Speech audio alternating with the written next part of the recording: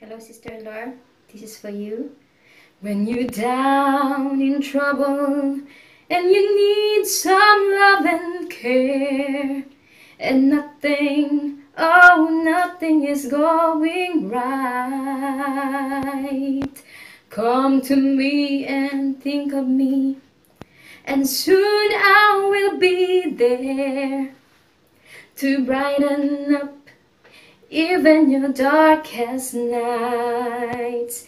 You just call out my name, and you know wherever I am, I come running to see you again.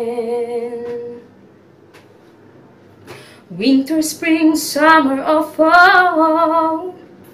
All you've got to do is call, and I'll be there. Yes, I will. You've got a friend. Hello, Sister Lore. More blessings to come sa pag-uwi mo sa Pinas. Nawa ay i-bless ka ni Lord ng maraming maraming maraming anak. Ah, kung ano man yung nasimulan mo dito sa Hong Kong, kung gaano ka naging faithful sa Panginoon, pagpatuloy mo yan sa Pinas kasama ng iyong pamilya. God bless you and more power. Chup chup. Isang mapagpalang araw sa inyong lahat dyan sa The New Berean Church of God. Ah, Pasensya na ako kayo, nasa airport ako eh.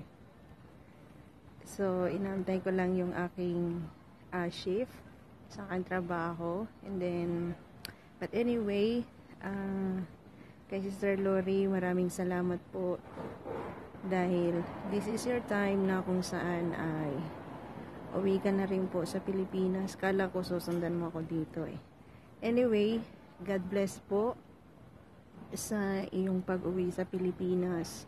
At higit sa lahat, maraming salamat dahil naging bahagi ka rin sa buhay ko. Salamat sa prayer mo at sa buong Berean Church of God. Maraming maraming pong salamat sa inyong lahat. Naging bahagi po kayo sa ah, journey ko sa pagpunta ko dito. Maraming salamat. God bless you all and I miss you all. Bye. Hello, Lori. I know being a leader is not easy. It's a very tough task. But we thank the Lord because He gave us all the strength to endure everything. God bless you and take care of yourself and your family back in the Philippines. Hey Ate Lori, I'm happy for you kasi makakasama mo na yung family mo and maraming salamat kasi ah, naging part ka ng buhay ko po rito sa Hong Kong. Ikaw yung naging ate ko na nag-guide sa akin, nag-advise. Marami pong salamat sa lahat. Thank you!